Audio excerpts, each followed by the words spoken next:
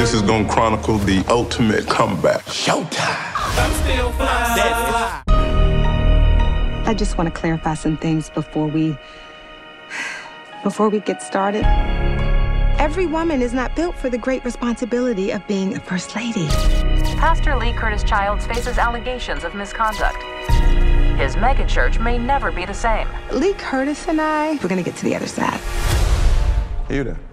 Yeah, with the big old microphone. Come in closer, son. You gonna see what all the fuss is about. Showtime. What's up? Fresh is our turn, baby.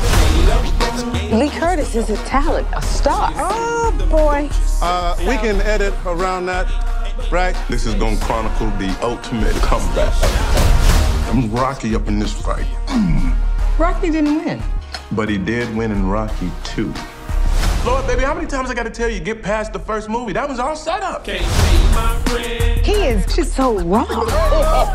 he needs someone to harness it all.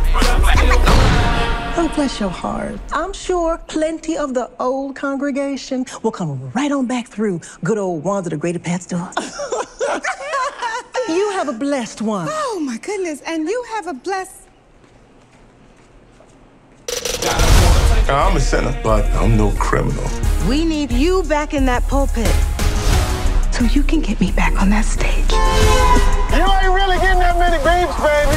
Shake it for the Lord. Shake it for the Lord. I said, get it for the Lord. In the house for the Lord. All those folks out there who are gonna see this, I want them to know that I did what I was supposed to do.